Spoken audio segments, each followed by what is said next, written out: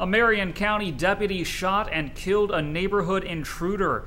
The sheriff's office received a call Saturday morning that a man was sleeping on someone's porch.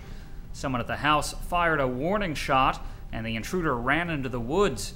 Then the deputy said the intruder pointed a gun at him. The sheriff says the deputy told the man several times to lower the weapon before shooting him fatally.